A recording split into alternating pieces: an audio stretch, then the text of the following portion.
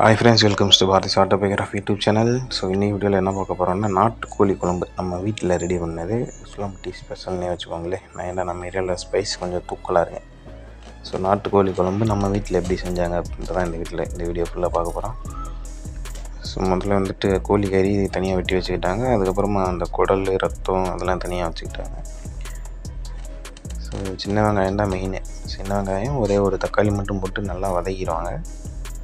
அதுக்கு முன்னாடி வந்து பார்த்திங்கன்னா சின்ன சீரகம் பெரிய சீரகம் மிளகு அப்புறம் கொஞ்சம் அரிசி அப்புறம் கொஞ்சம் உளுந்து. இதெல்லாம் போட்டு நல்லா வறுத்து எடுத்து வச்சுக்கிடுவாங்க ஸோ நம்ம அந்த வதக்கி வச்ச தக்காளி வெங்காயம் ஒரே ஒரு தக்காளி போட்டால் போதும். சின்ன வெங்காயம் நிறையா கொடுத்தோம்னா நல்லா டேஸ்ட்டாக இருக்கும். ஸோ அதை வதக்கின சின்ன வெங்காயமும் இது எல்லாத்தையுமே சேர்த்து மிக்சியில் போட்டு நல்லா அரைச்சி வச்சுக்கிற வேண்டிதான்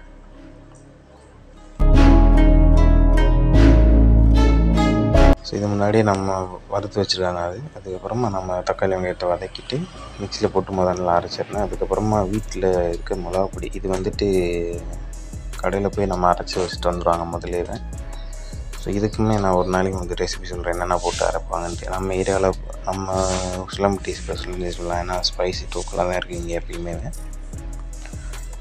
ஸோ முதல்ல அந்த சீரகம் பெரிய சீரகம் அது எல்லாமே போட்டு மிக்சியில் நல்லா அரைச்சி எடுத்துக்கிறேன்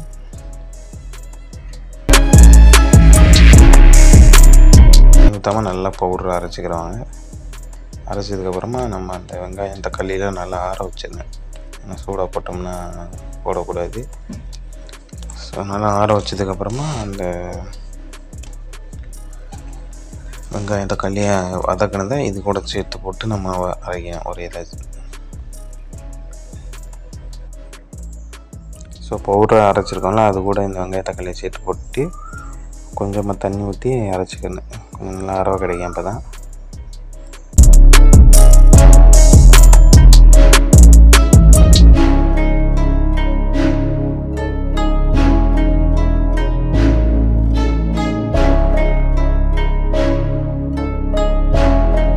கொஞ்ச நேரம் அரைச்சாலே போதும். நல்லா அரைஞ்சிடும் நான் நல்லா வதங்கி இருக்கிறதுனால ஸோ அதை அரைச்சதுக்கப்புறமா அதில் வந்துட்டு நம்ம நம்ம வீட்டு மிளகா பொடி சேர்க்க வேண்டியதான் அவங்களுக்கு எவ்வளோ காரம் வேணுமோ அதுக்கேற்ற மாதிரி சேர்த்துக்கோங்க.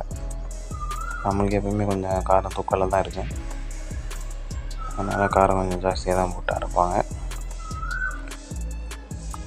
ஸோ இது போட்டுட்டு இப்படியே நீங்கள் தண்ணி ஊற்றாம அரைச்சிங்கன்னா நம்ம இது கொஞ்சம் பவுட்ராக இருக்கனால அது எல்லாமே சுத்தோட பிடிச்சிக்கிறேன் அதனால் தண்ணியை ஊற்றிட்டு நல்லா கிண்டி விட்டுக்கிறேன்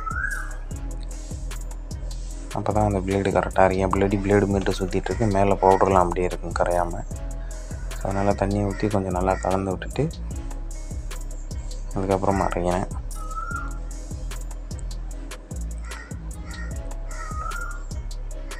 ஆக்சுவலி ரொம்ப சிம்பிள் தாங்க. நான் கூட ரொம்ப கஷ்டம்னு நினச்சிட்டு இருந்தேன்.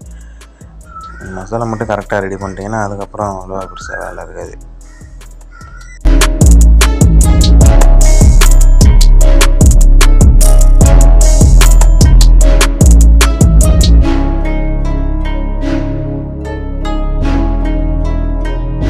நம்ம இருக்க டேஸ்ட்லாம் வேறக்கா வருமானு தெரில நம்ம ஏரியாவில் எப்பயுமே நாட்டுக்கோழி வேறு லெவல் டேஸ்ட்டில் இருக்கேன்.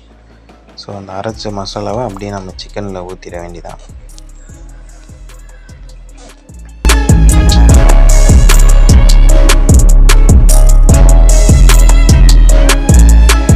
மசாலா ஃபுல்லாக ஊற்றிட்டு அதுக்கப்புறமா நல்லெண்ணெய் ஊற்றினேன் ஒரு நூறு எல்லாம் நூறு நல்லெண்ணெய். ஆக்சுவலி இப்போ ஊற்றிட்டு அதுக்கப்புறமா குழம்புல வேறு தனியாக ஊற்றி சாப்பிட்டோம்னா என்ன வேறு லெவல் டேஸ்ட் அல்டிமேட்டாக இருக்குது ஸோ முதல்ல முதல்ல குழம்புல கொஞ்சம் நல்லெண்ணெய் அதுக்கப்புறமா ஒரு நூறு எண்ணெய் கடலெண்ணெய்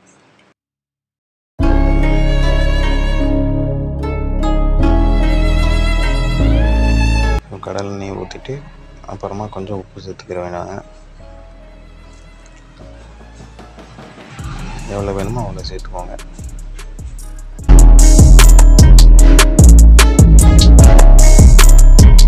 எல்லாம் சேர்த்துட்டு எல்லாத்தையுமே முதல்ல நல்லா கிளறினேன் மசாலா எல்லாமே கறியில் கலந்துக்கிற மாதிரி.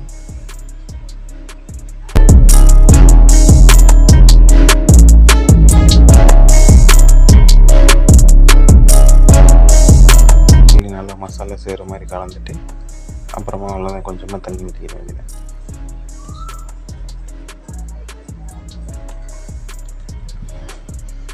தண்ணி எவ்வளோ தேவையோ அவ்வளோ ஊற்றிட்டு அப்படியே தூக்கி அடுப்பில் வச்சோம்னா அவ்வளோதான். அதுக்கப்புறமா வேலையில்லை சிம்பிள். தான்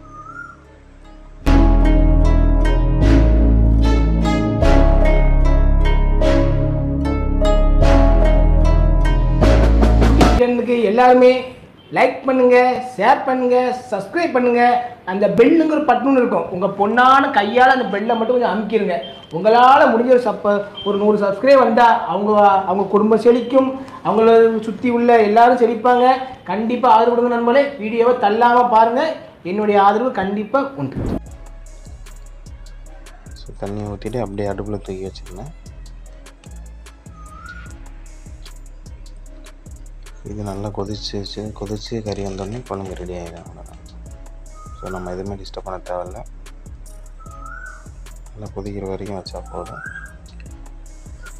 ஸோ அதுக்கப்புறமா அந்த ரத்தம் குடல்லாம் இருந்துச்சுன்னா அதையும் நம்ம இந்த மசாலாவே போட்டு மசாலா கொஞ்சமாக போட்டு கொஞ்சம் தண்ணி ஊற்றி அதையும் வேக வச்சுருந்தா வேறு லெவலில் இருக்குது அதுவும்.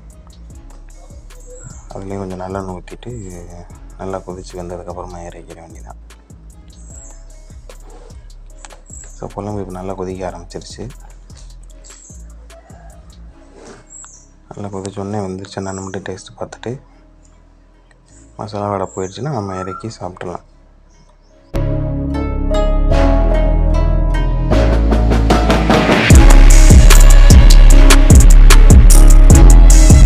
ரெடி ஆயிடுச்சு. வாங்க சாப்பிட்றலாம்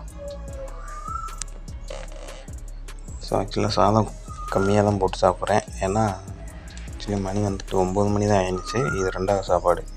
ஃபஸ்ட்டு வந்துட்டு நம்ம அந்த குடல்லாம் ரெடி ஆகிடுச்சுல அதுலேயே ஃபஸ்ட்டு ஒரு சாப்பாடு போட்டு முடிச்சாச்சு. அதனால் கொஞ்சமாக சாப்பாடு போட்டு அளவாக சாப்பிட்றோம்.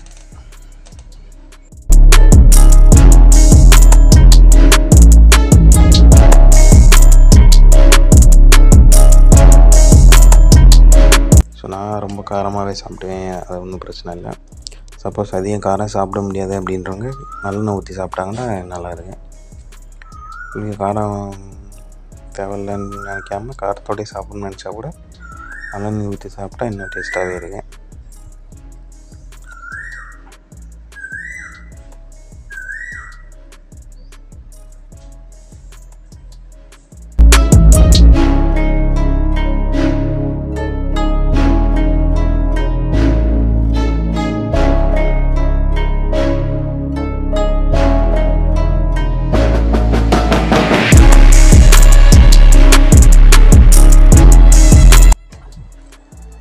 ஸோ செம்ம டேஸ்ட்டு வேறு லெவலில் இருந்துச்சு.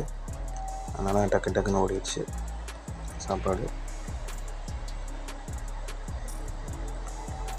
ஸோ நீங்களும் ட்ரை பண்ணி பாருங்கள் எப்படி இருக்குது அப்படின்ட்டு. இதுக்கு முன்னாடி வேறு ஸ்டைலில் நீங்கள் நாட்டுக்குள்ளே ரெடி பண்ணியிருந்தீங்களா இந்த இந்த தடவை இந்த ஸ்டைலில் ரெடி பண்ணி பாருங்கள் வேறு லெவலில் அல்டிமேட்டாக இருக்குது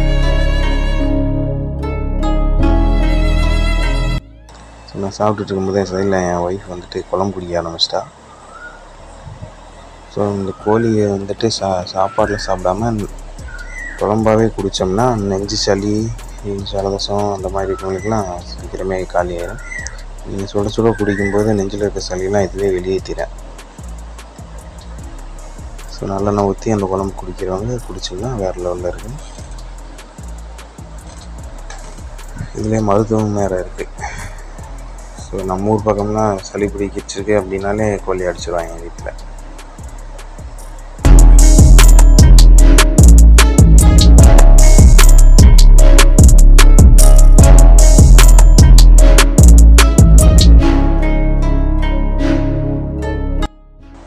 ஸோ நல்லா வெந்துருச்சு.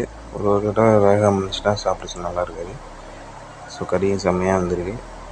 மசாலாவும் சுத்தமாக வாடகை போயிடுச்சு. செம்ம டேஸ்ட்டாக இருந்துச்சு. கொஞ்சம் உரப்பு தூக்கலாக இருந்துச்சு நம்மளுக்கு. உரப்பு கம்மியாக வேணுன்றவங்க கம்மியாக போட்டு சாப்பிட்டுக்கலாம்.